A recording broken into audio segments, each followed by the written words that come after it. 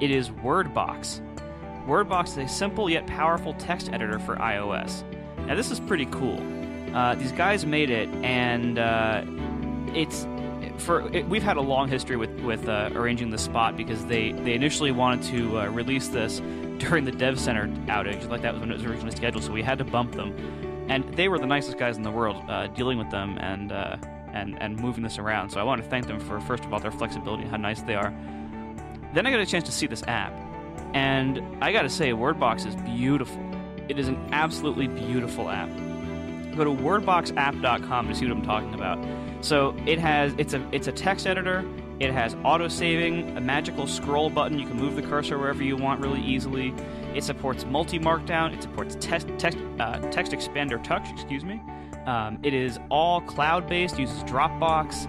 Um, it's really it, it, has so many features. I can't believe this came out of nowhere. Um, it has folder support. It has Droplr sharing, uh, Dropbox backgrounding support, offline support, uh, exports to HTML or PDF from Markdown. It, there, there are so many smaller apps that I think this could very easily replace. Uh, word counts, emailing. It's really, it's really fantastic.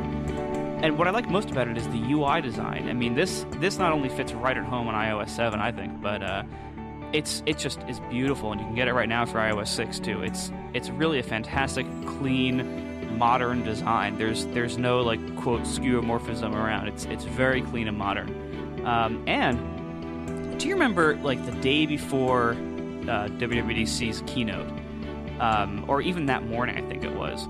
There was this company called Fleksy that everyone thought had blown a uh, had blown a uh, exclusive about iOS 7 supporting third-party keyboards because Fleksy had made their own keyboard.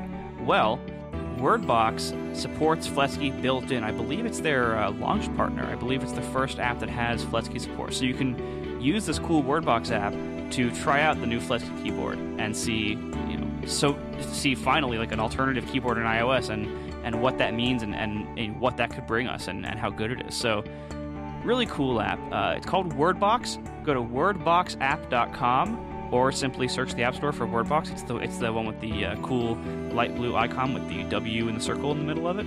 Uh, but it's easier. Just go to wordboxapp.com. You can see lots of screenshots and uh, video. It's really cool. Thanks a lot to wordbox.com or sorry wordboxapp.com for sponsoring the show. And uh, once again, check out WordBox. Thanks. Yeah, it, I'm running iOS 7 on my carry phone now, and uh, it fits right in. I mean, it, it really does look good. So, if you're a Markdown person, you should definitely check it out. Yeah, I'm really impressed by the design of this. I mean, I, I, I know I said it before, but I'll say it again. It's I, I love they, they have this awesome. Uh, you, you, can see in the screenshots. They have this awesome uh, black slide up action menu uh, where it like it like grays out the whole screen and all the buttons are the big circles, kind of like the the iOS 7 dialer, the phone dialer. Um, really, really cool, and I was very impressed by this design.